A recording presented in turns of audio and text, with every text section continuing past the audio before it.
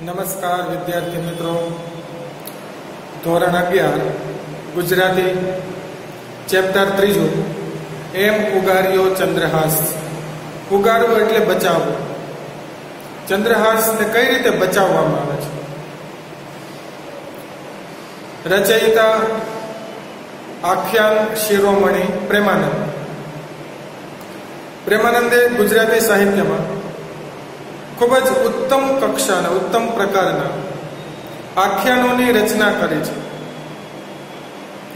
તેમને આખ્યાન શિરોમણી કે જેમનું શિરમૂળ સૌથી ઊંચું સ્થાન છે. આખ્યાન એવા પ્રેમાનંદે ચંદ્રહાસ આખ્યાનની રચના કરી છે. આ સિવાયના ઘણા બધા આખ્યાનોની રચના કરી છે. ટેક્સ્ટબુકમાં પ્રેમાનંદના પરિચયમાં આખ્યાનોની એમના નામોની વાત ઉલ્લેખ કરવામાં આવ્યો છે. અત્યારે આપણે મનોરંજન માટે ઘરે બેઠા ટીવી, મોબાઈલ, કમ્પ્યુટર, લેપટોપ અને આના દ્વારા સોશિયલ મીડિયામાંથી અનેક પ્રકારના મનોરંજન ઘરે બેઠા માણી શકીએ છીએ. પરંતુ જ્યારે એક સમય એવો પૂર્વેના સમય, જ્યારે સાહેબ હજુ ટેકનોલોજીના ક્ષેત્રે નવી શોધ નહોતી થઈ, ત્યારે લોકો મનોરંજન કઈ રીતે માણતા તો ગામડા ગામમાં શહેરોનો પણ વિકાસ થયો. ગામડાઓ જ હતા. ગામડામાં નાટક મંડળીઓ, આખ્યાનકારો અને જે મનોરંજન આપી શકે છે, આવી તમામ પ્રકારની વ્યક્તિગત અથવા મંડળીઓ ગામડા ગામમાં આવે અને ત્યાં રોકાણ કરે. એમને આવ્યા પછી, જેમના ઘરે ઉતારો હોય તેમની વ્યવસ્થા કરવામાં આવે. અને ગામડામાં જાહેરાત પણ કરવામાં આવે. કે ભાઈ કોઈ આખ્યાનકાર કે કોઈ નાટક મંડળી કે કોઈ મનોરંજન કરાવવા માટે વિવિધ લોકો આવ્યા હોય તેમની જાણ લોકોને અગાઉથી કરી દેવામાં એટલે સાંજના સમયે લોકો જમીને ફ્રી થઈ ગામડા ગામનું જે પાદર હોય, એ બધા સ્ત્રી પુરુષ બાળકો પોતપોતાની રીતે ગોઠવાય છે. અને પછી આખ્યાનકાર હોય, તો જેમ પ્રેમાનંદના પરિચયમાં આપજો છું. કે તેઓ આખ્યાનકાર હતા, માણ ભટ્ટ હતા. માણ એટલે તાંબાની મોટી ગાગર. તાંબાની ગાગર અને પોતે આંગળીઓમાં લોખંડના વેઠ એટલે કે રિંગ પહેરે. પોતે આખ્યાનની વાત રજૂ કરતા જાય, વચ્ચે વચ્ચે તાલ આપતા જાય અને સાથે સાથે જ્ઞાન, બોધ કે ઉપદેશ પણ આપતા જાય. તાંબાની ગાગર એટલે માણ. આંગળીઓમાં પહેરેલી લોખંડની રિંગ કે વીટી, જેનાથી એક રણકાર ઊભો થાય. ત્યાંથી રવ, અવાજ સંગીત નિષ્પન્ન થાય, ઉત્પન્ન થાય. તો પોતે પણ એક આખ્યાનકાર હતા, માણભટ્ટ હતા. આ એમનો વ્યવસાય હતો. તો ગામડા ગામમાં આખ્યાનકાર કોઈ આવે, કે પછી નાટક મંડળી હોય. કે પછી કોઈ વ્યક્તિગત કે અન્ય મંડળીઓ આવી રીતે લોકોને મનોરંજન આપે. ફક્ત મનોરંજન નહીં, આ સાથે લોકોમાં જાગૃતિ આવે માટે એમાંથી કોઈને કોઈ એક સંદેશ ફોરવર્ડ થતો હોય, એક મેસેજ ડાયવર્ટ થતો હોય, કે જેનાથી લોકોમાં સમાજમાં જાગૃતિ પણ આવે. મનોરંજન સાથે જાગૃતિ. અવેરનેસ હવે પ્રસ્તુત આખ્યાનમાં દૃષ્ટબુદ્ધિ નામનો રાજા, એમને વિષય નામની પુત્રી અને મદન નામનો પુત્ર. હવે રાજા એટલે સ્વાભાવિક છે, એકથી વધારે રાજ્ય હોય. તો એમનો પુત્ર મદન છે, એ બીજું રાજ્ય સંભાળતું હોય. પરંતુ અહીં મુખ્ય પાત્ર છે, લીડ રોલ જેને આપણે ચંદ્રહાસ. ચંદ્રહાસ સાથે દૃષ્ટબુદ્ધિ રાજાની પુત્રી વિષયા લગ્ન કરવામાં આવે છે. ચંદ્રહાસ પણ ખૂબ સજ્જન વ્યક્તિ છે. અને પાછો દુષ્ટબુદ્ધિના રાજ્યમાં પ્રધાન પણ છે, મંત્રી છે. પરંતુ દુષ્ટબુદ્ધિ રાજા એમને એન કેન પ્રકારે મારી નાખવામાં આવે છે. અગાઉ એણે ઘણા પ્રયત્નો કર્યા પણ બધા પ્રયત્નો ના કામયાબ રહે છે. આ વખતે એણે ચંદ્રહાસને એક પત્ર લઈ પોતાના રાજ્યમાંથી બીજા રાજ્યમાં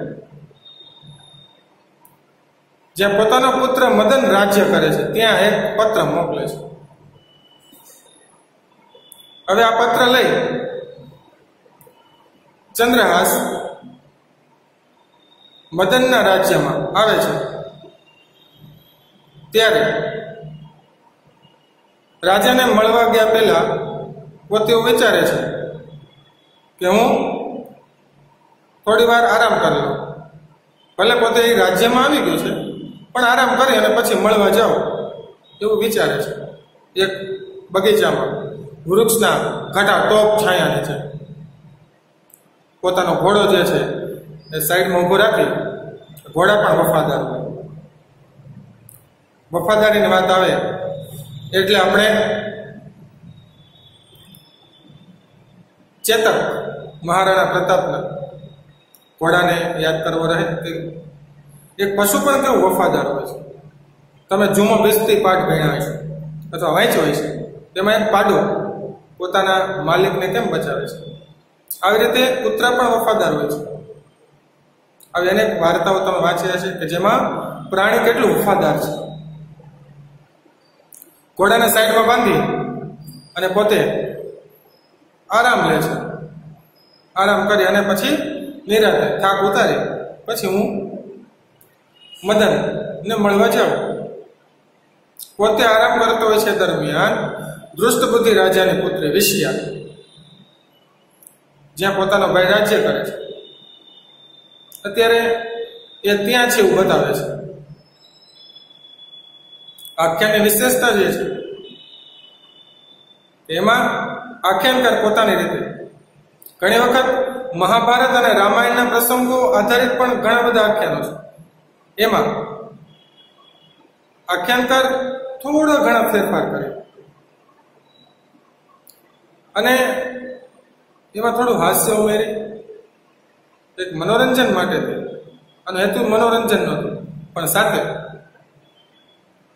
કોઈ પાત્રને અન્યાય પણ ન થાય. એ રીતે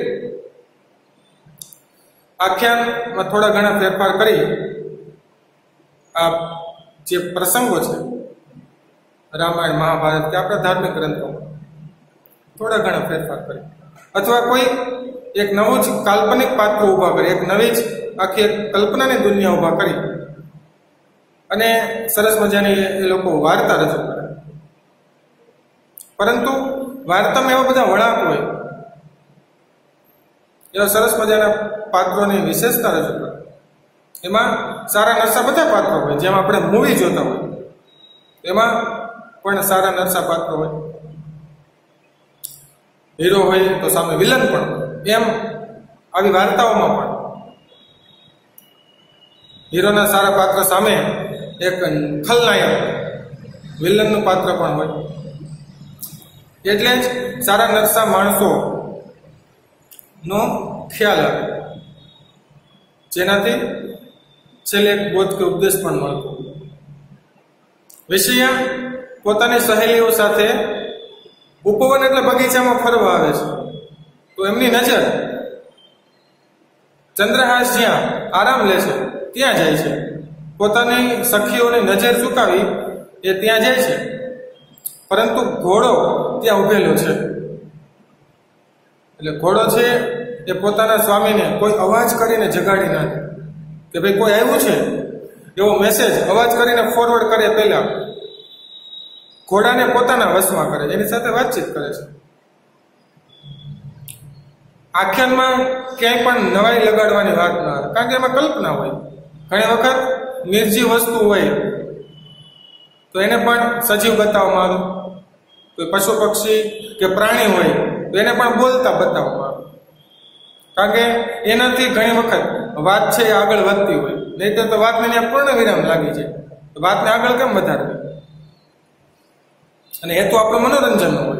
કંઈક નવું શીખવાનું, કંઈક નવું જાણવાનું, કંઈક ઉપદેશનું પછી કલ્પનાની દુનિયા હોય તો પશુ પક્ષી કે પ્રાણીઓને કે નિર્જીવ વસ્તુને સજીવ બતાવવામાં આવે કે બોલતી બતાવવામાં આવે. તેમાં કશી નવાઈ ન પામવી. ઘોડાને પોતાના વશમાં કરે. કે ઘોડો પોતાના સ્વામીને જગાડી ના દે. એટલે ઘોડાના વખાણ કરે છે. અને પછી ધીમે ધીમે એના જવાના અવાજથી એને આભૂષણો પહેર્યા છે. એના અવાજથી જાગી ન જાય એટલી કેર કરીને એટલી કાળજીપૂર્વક. પોતે ચંદ્રહાસ સુધી પહોંચે છે. ચંદ્રહાસ મુખ ઉપર ઢાંકીને સૂતો છે. ચંદ્રહાસનું મુખ ઉગાડ્યા પછી પ્રેમાનંદજીનું વર્ણન કર્યું છે. ખૂબ સરસ વર્ણન છે. ત્યારબાદ વિષયાનું ધ્યાન એની કમરમાં રહેલા પત્ર સાથે. પત્ર ઉપર પડે છે. આ પત્ર આપવા તો આવ્યો છે. વિષયાને થયું કે આ કોઈ રાજ્યનો જ માણસ છે. કોઈ સંદેશો લઈને એવો લાગે છે. તો લાવને સંદેશો વાંચો, શું લખ્યું? તો સંદેશો ખોલે અને વાંચે છે. તેમાં લખ્યું હોય છે કે આને કોઈ પણ પ્રકારના સમય ઘડી કે મુહૂર્ત જોયા વગર વિષ આપું છું.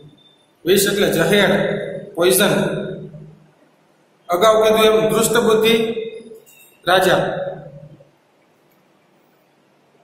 ચંદ્રહાસને એને કેન પ્રકારે મારી નાખવા માંગે. અગાઉ ઘણા પ્રયત્નો કર્યા હતા, પણ નિષ્ફળ જાય છે. આ વખતે નવો પ્રયત્ન છે. પોતાના દીકરા પાસે પત્ર લઈને મોકે, મોકલે. અને એમાં લખ્યું છે કે આને વિષ આપજો. વિષ એટલે જહેર આપીને મારી નાખ્યું તમને એમ પ્રશ્ન થાય, તો એ સંદેશો લઈને જાય તો વાંચી ન લે હું લખું છું. પરંતુ વિશ્વાસુ પાત્ર હોય એવા લોકોને જ સંદેશા વાહક કે દૂત તરીકે પસંદ કરવામાં આવે. કે જે આવું ફ્રોડ ના કરે, સંદેશો વાંચી ન લે. આવો વિચાર તમને આવ્યો હોય છે પરંતુ આ વાંચ્યા પછી વિષયને એમ થાય, આ લખનારના હાથ કાપી નાખવો જોઈએ. પરંતુ અક્ષર ઉપરથી એ ઓળખી જાય છે.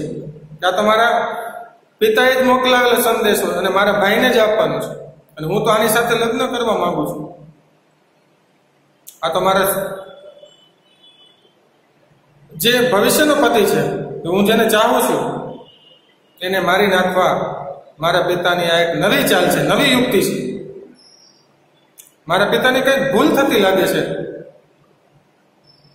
તો પોતે એક તણખલું, ઘાસનું તણખલું લઈ એક આંખમાંથી આંજણ, એટલે કે કાજળ, અને બીજા આંખમાંથી પાણી લઈ વિષ લખ્યું છે ત્યાં, વિષયા લખી નાખે છે. એટલે હવે પત્રમાં શું થઈ ગયું? આને વિષયા આપજો. મુહૂર્ત કે સમય જોયા વગર આને વિષય આપજો. આમ વિષયા ને એમ થયું કે મારા પિતાને કંઈક લખવામાં ભૂલ થાય છે. એટલે પોતે સુધારો કરી નાખે છે. ખરેખર ભૂલ નહોતી. લેખું તો બરાબર હતું. પરંતુ વિષયાને ભૂલ લાગે છે એટલે વિષમાંથી વિષયા કરી નાખે છે. હવે આમાંથી એક મેસેજ ફોરવર્ડ થાય છે. કે જેને ઈશ્વર બચાવ માંગતો હોય ને સાહેબ, એને દુનિયાની કોઈ તાકાત કોઈ વ્યક્તિ મારી ના શકે. રામ રાખે તેને કોણ ચાખે? ભગવાન જેને બચાવ માંગતો હોય ને સાહેબ, એ કોઈ મારી શકે નહીં. આમ એક સુંદર મજાના મેસેજ સાથે એક સરસ મજાનું આખ્યાન એમ ઉગાર્યું ચંદ્રહાસની વાત પ્રેમાનંદે રજૂ કરી છે. આખ્યાન તો ખૂબ લાંબુ છે, પરંતુ એમાંથી એક ટુકડો, એક ભાગ, જેમ કોઈ તમે નવલકથા વાંચતા હોય એમાં અનેક અંદર પેટા પ્રકરણ હોય, ચેપ્ટર હોય. એમ આ પણ એક ચંદ્રહાસ આખ્યાનનો એક પ્રસંગ છે ઘટના છે, જે તમારે અભ્યાસ કરવાનો છે. આ વીડિયો જુઓ. લેખકનો પરિચય, કવિનો પરિચય વાંચો. ચેપ્ટર વાંચો. આખ્યાન વાંચો. શબ્દના અર્થ સમજો. અને તમે સ્વાધ્યાય બુકમાં જે પ્રશ્નો નોંધ્યા છે એ વાંચવાના છે. હવે પછીના વિડીયોમાં ચેપ્ટર વિશેની વિશેષ વાત સાથે મળીશું. અસ્તુ.